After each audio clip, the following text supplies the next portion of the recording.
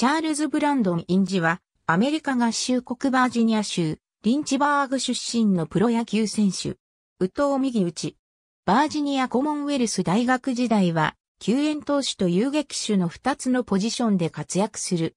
1998年、デトロイトタイガースからドラフト2巡目指名を受け、プロ入り。入団直後に、球団の方針により、保守へ転向する。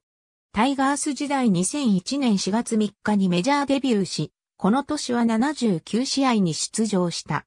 2003年までタイガースの正捕資格の選手としてプレーする。2002年には出場試合数が100を下回っているのに、チーム最多の101三振を記録するなど、強肩以外に見るべきところもない選手であり、インジ自身もメジャーに残るためだけに好きでもなく、不慣れな保守を続けるしかなかった。しかし、この保守の経験が、プロの試合というものを早く理解することに役立ち、いい経験となったという。2004年、メジャーを代表する保守のイヴァン・ロドリゲスが、タイガースに加入。これに伴いインジは、ユーティリティプレイヤーとなり、この年の前半戦は、保守、三塁手、外野手など様々なポジションで出場する。しかし後半戦からは、外野手としての起用が少なくなり、主に三塁手として出場するようになった。2005年に、インジは、小増塁手となり、自己最高の160試合に出場した。2006年には9番打者ながら27本塁打を記録してタイガースのリーグ優勝に貢献している。2007年のシーズン終了後、強打の三塁手、ミゲル・カブレラがマーリンズからトレードでタイガースに加入した。カブレラとポジションが重なるインジは、控えになるのも保守に戻るのも望まず、チームに移籍希望を伝えていたが、チームは放出をしなかった。結局2008年シーズンは、控えの三塁手、外野手、保守としてプレーすることとなった。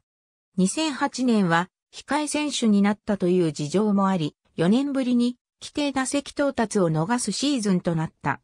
ポジション別で見ると、保守として60試合、三塁手として51試合に出場したほか、外野手としても試合に出場した。打撃成績では、前述の通り規定打席到達を逃しただけでなく、自身3度目の打率210以下を記録してしまった。しかし、11本塁打、51打点を記録し、5年連続での2桁本塁打を記録した。2009年は、カブレラが一塁手としてプレーすることになったため、インジは年間通じて三塁を守った。結局、すべて三塁手として、リーグ最多タイとなる161試合に出場。自己ベストタイの27本塁打を放ち、打点でも2006年に記録した83打点を1、打点だけ更新する84打点をマークした。また、自身初のオールスターゲーム出場も果たした。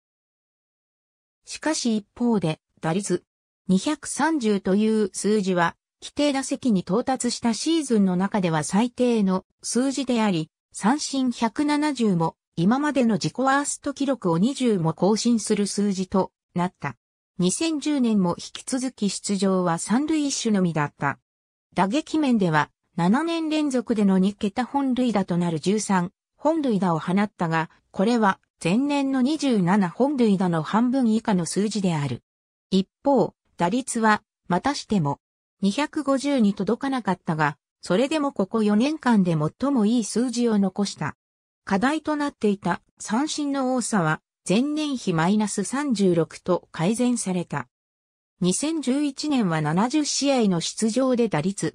177、1本塁打、オプス483と例年を上回る打撃不振に陥り、三塁守備でも DRS-8 を喫し、7月26日に40人枠から外れ、トリプル A 級トレードに降格。8月20日にメジャーに昇格した。2012年はプリンスフィルダーの加入があり、控えからのスタートとなった。4月26日解雇された。アスレチックス時代4月29日、オークランドアスレチックスと契約を結ぶタイガース時代の元同僚のスコット・サイズモアが、膝の怪我で絶望だったこともあり獲得した。2013年1月12日にピッツバーグパイレーツとマイナー契約を結んだ。7月23日にディーフとなりその後 FA となった。8月17日にトロントブルージェイズとマイナー契約を結ぶも、6日後の23日に放出された。打撃面では、不調時には簡単に三振に倒れるが、抜きんでた身体能力があるため、好調時はインサイドに来た速球を鋭く振り抜き、同じ人間と思えないバッティングを見せ、パワーを兼ね備えている。外野が広いコメリカパークを本拠地にしながらも2006年には27本塁打を記録している。しかし、2007年までの通算打率が241と低く、三振が多く確実性が低いため打線中軸として起用されない。守備面では守備範囲が広く動物的瞬発力で三遊間のゴロに飛びつき、鉄砲型で一塁に送球するプレーがよく見られる。レギュラーに定着した2005年には378、補殺、翌2006年には398補殺を記録している。ありがとうございます。